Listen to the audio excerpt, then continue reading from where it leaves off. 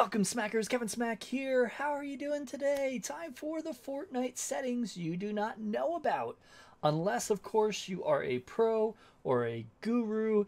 If you are and you do know all these settings tips, please comment down below that you are a guru settings ninja master. I'll go through and heart that comment for you once I see it let's go ahead and just get into it. And since it's been a little while, I want to go through and welcome you as I usually do, and that's with a smack. So, welcome everybody. let's just jump right into the settings. We're going to go over five settings you don't know about, starting with the audio. I have went over this one before, but most people haven't seen it, so I'm going to go through it again here.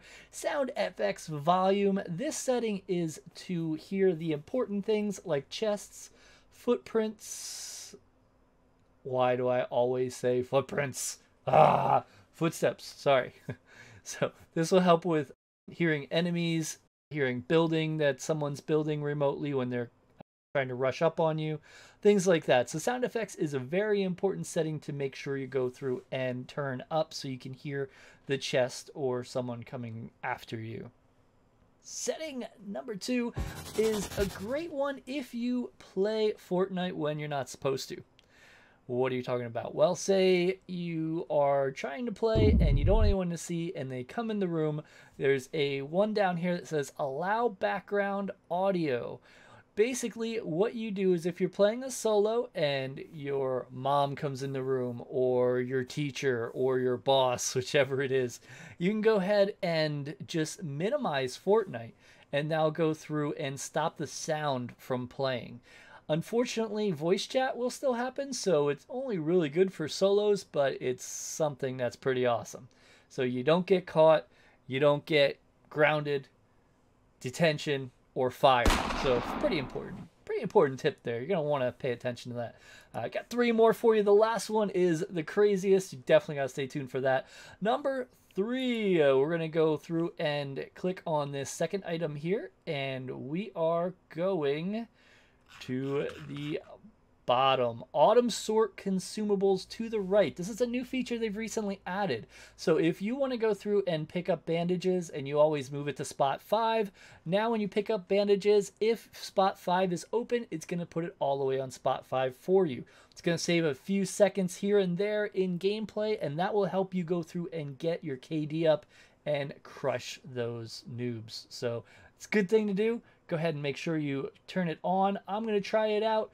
It's going to be a little new for me, but we're going to see how it goes. Another setting's been introduced recently, and it is right here, Sprint by default. It's awesome. You tired of holding the button down to sprint all the time? Turn this on and boom, you're off to the races. You don't have to worry about sprinting at all. I personally kept my shift button to crouch and and walk. That way if i want to go through and be quiet i can hold that. I know a lot of pros have already got rid of that key and just used it for the pyramid top for editing uh, or for building. So you can go through and use that key for whatever you want but personally i still like to sneak up on people so i'm still using that key. But it's awesome. I'm running all the time. I don't have to hold that button. That's a lot less pain when you're playing hours and hours and hours so that's tip number four for you. Tip number five is along the same route. If you want to go through and save lots of issues, this is by far my favorite setting that I've ever discovered. You may even know this one, but it's pretty simple. Here it is tap to search or interact. That's it. You just turn that baby on. What does it do, you ask? Well, I will let you know if you go up to a chest, you know how you hold E down and you hold E down and it's opening the chest and then you move and all of a sudden you have to open it again. You know how you're resing your teammate and you're at five seconds and then you move, uh, you let go of the button or something by mistake and then you got to res them again. It's like 10 seconds holding that button down sometimes can have some mistakes.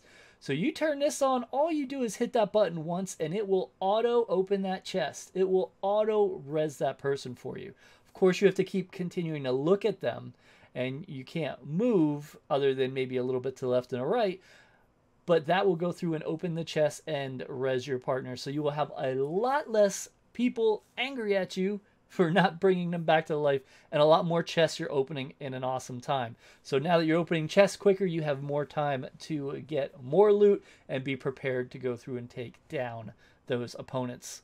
So guys, those are the top Fortnite settings that I think most people won't know. So I hope they helped you. If one of them or more of them helped you, what is the tip that you liked the most out of this? Please do me a favor, comment down below. Let me know. Also, I still have a giveaway going. Check that in the description. To enter the giveaway, just comment down below and click that link. I want to thank everyone for watching the video, and I will see you in the next one. As always, smack out. タタタタタタタタ